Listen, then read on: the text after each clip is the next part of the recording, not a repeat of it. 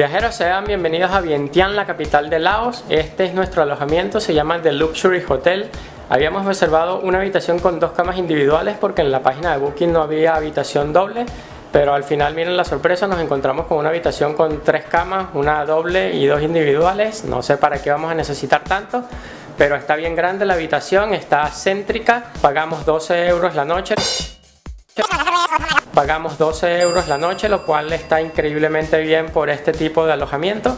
Y ya sin más preámbulo, vámonos a conocer la ciudad.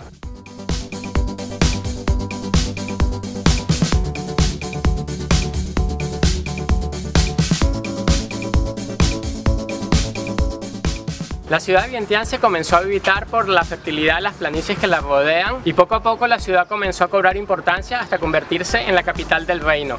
Después fue destruida por la guerra y durante la ocupación francesa se encargaron de reconstruir la ciudad.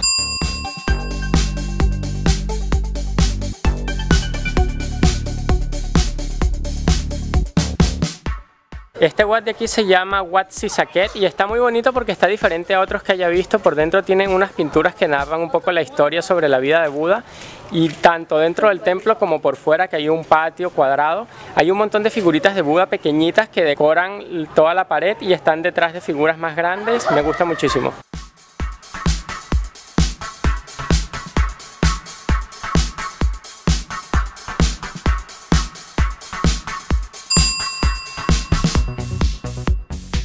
Justo enfrente de Sisaket está este otro bat que se llama Jofrakaev. Dentro tiene como una pequeña exposición de Budas, es un pequeño museo. También pueden comprar figuras de Buda y pasearse por aquí alrededor del templo. Tiene un jardín muy bonito.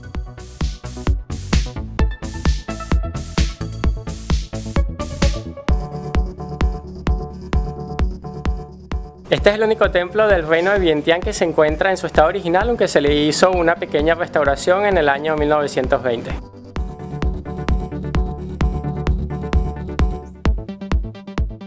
Este de aquí es el monumento de Chao Anu Bon y está justo enfrente del río Mekong y si se fijan, de la otra orilla está Tailandia.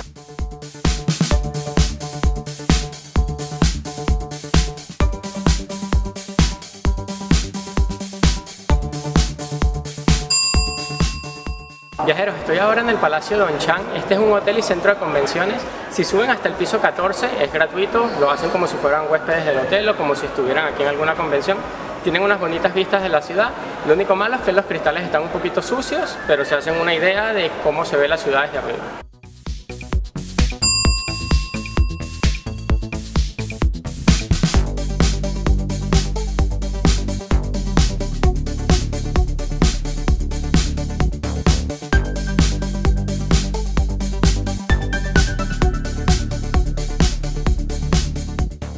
Vean, conseguir este hotel fue una tremenda suerte considerando que tenemos ya varias noches quedándonos en lugares de más bajo presupuesto.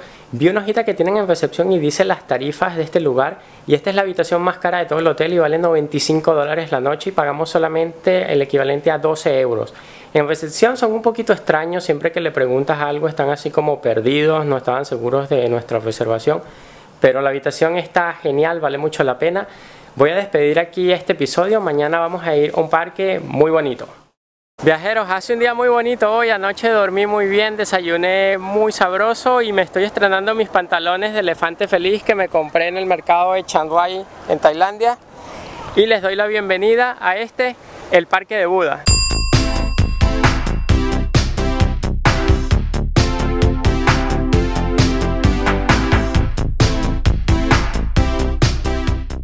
Este parque que estaba muy original y muy bizarro fue la idea de un sacerdote chamán que practicaba tanto el hinduismo como el budismo y quería combinar en un mismo lugar un poco de ambas religiones. Así fue como nació el parque en 1958 y alberga más de 200 estatuas de Buda que si ustedes las miran tienen un aspecto así muy envejecido, fueron construidas en cemento, pero da la impresión de que tuvieran muchísimos años.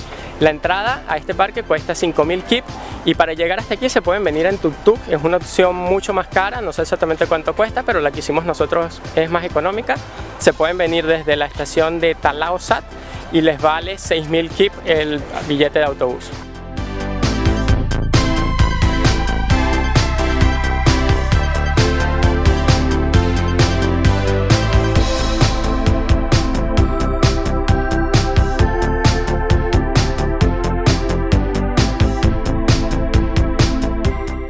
La estructura o la construcción más representativa de todo este parque es esta torre que tiene forma de calabaza y tiene tres niveles. Pueden subir hasta arriba y van a tener unas vistas muy bonitas de todo el parque.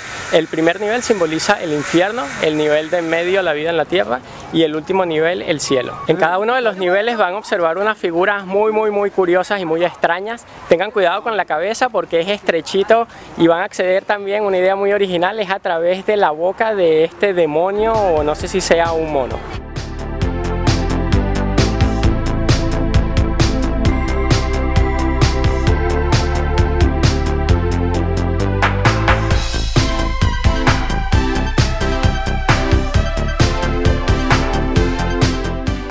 La figura más grande de todo el parque está representada en este Buda reclinado que no sé exactamente cuántos metros de altura tiene ni cuántos metros de largo, pero está de verdad muy muy muy grande.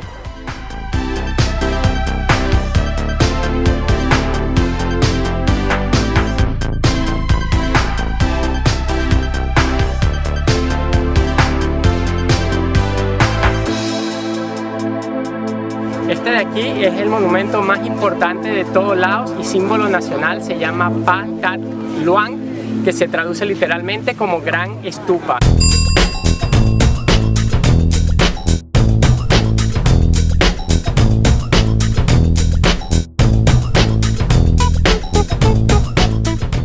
La estupa tiene tres niveles y ha sido reconstruida en múltiples ocasiones y saqueada también por los siameses, los birmanos y los chinos. Lo que se puede ver actualmente es la última reconstrucción que se hizo en 1930 por los franceses.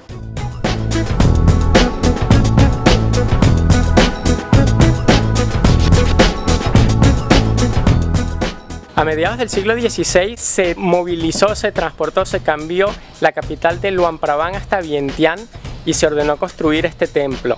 Se cree que unos misioneros enviados por el rey llegaron hasta acá con una reliquia que contiene el esternón de Buda.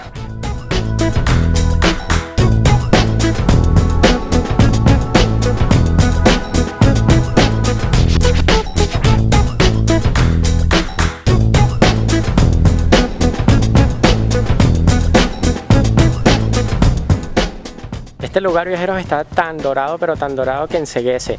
Otro dato importante es que alrededor del complejo por aquí podían pasar carros hace algunos años, pero ya lo quitaron para proteger el lugar. Junto frente a la estupa está este gran Buda dorado que está muy impresionante.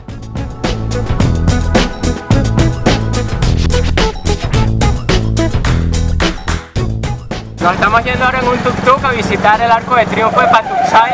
Esto de negociar con los conductores se hace muy gracioso y este me da mucha risa porque tiene un pelo larguísimo que le sale aquí como de 20 centímetros y cada vez que lo veo no puedo evitar reírme.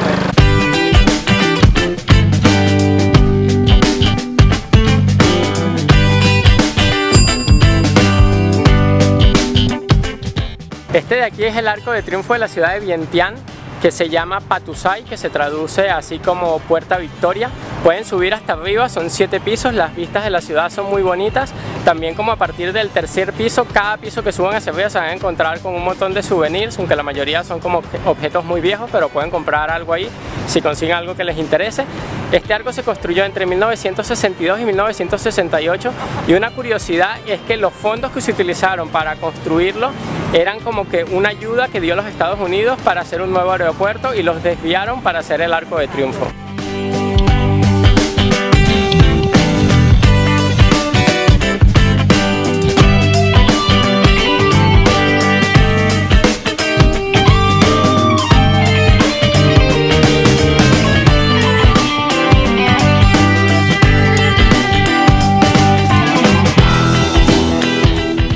Las vistas desde Camino Viajeros están muy increíbles, justo cuando uno piensa que ya llegó a lo más alto, las escaleras siguen porque no están como que muy continuas, sino que están así un poquito escondidas. Las vistas fenomenales, suban.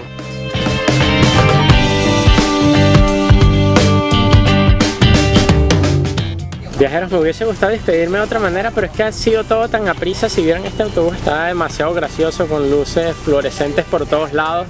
Parece que estuviéramos caminando por una calle colorida de Japón.